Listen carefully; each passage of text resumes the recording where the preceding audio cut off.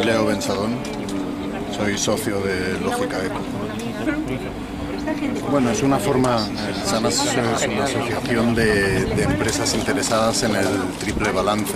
Entonces es, es una forma, si quieres, de, de, dar unos indicadores, tener una, una forma clara de cómo llevas a la práctica ese triple balance. Puede ser más como concepto económico, ecológico y social, pero luego cómo lo llevas a la práctica.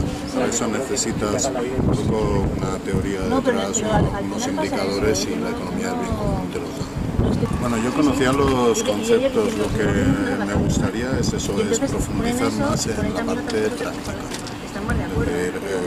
Podemos aprovechar estos conceptos para que todas estas empresas aquí en Sana son muchas empresas que están interesadas en estos conceptos y creo que necesitamos un poco de, de ayuda para llevarlo a la práctica al día a día cómo colaborar mejor entre nosotros, cómo llevar esto a la parte económica, a la parte social dentro de las empresas y al efecto que tienen en el medio ambiente.